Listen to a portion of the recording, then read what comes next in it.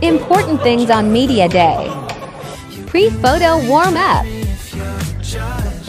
Getting a middle spot. Doing your picks first. Distracting teammates.